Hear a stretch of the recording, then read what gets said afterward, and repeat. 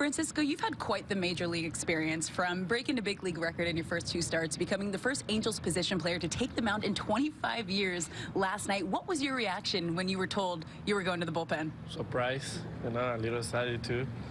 Maybe back in the year when I pitched in little Mm-hmm. leagues, you know, I get to the bullpen, just have a fun with the guy. When I come to the game, same, I true, just have a fun in the mound, like what I do when I have, when I kid, you know, playing the little league. Uh, hopefully that day everything go well in that inning, so I feel glad to pitch yesterday. At what point in the game did they tell you head to the bullpen?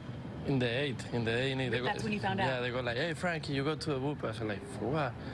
Go warm it up. You maybe pitch next inning. Yeah. I said like, "Okay." So I just run like a kid. I'm so excited. you know, I'm pitch. Yeah. Yeah, I feel great. What was the bullpen's reaction when he went in there? Did they think it was serious? No, they all be like prove each other like Yeah. Frankie, Frankie. You know, it, feel, it feel great. It feel uh, great. You know, when I get to the mound, I just laughing, just having fun there. That's good. And you did a great job. Only took you eight pitches to get the three outs. What was your game plan out there? And did the bullpen give you any advice when you headed out? No, I just tell myself like I don't want to make hurt my arm. I Uh-huh. just play catch with Josie. I tell Josie like stay in the middle. I'm just Yeah. gonna throw BP fastball to you. That's it. That's incredible. and to see your teammates' reaction when you came back into the dugout after, what were they saying to you? Ah, like you are amazing. How are you doing? How you pitch like that? I said I don't know. That's lucky. Yeah. yeah.